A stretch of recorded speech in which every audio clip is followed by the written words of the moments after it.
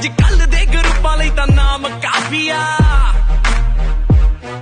ਹੋ, ਆਪਣੇ ਹੀ ਨਾਮ ਤੇ ਚਲਾਉਂਦਾ ਮਾਫੀਆ ਅੱਜ ਕੱਲ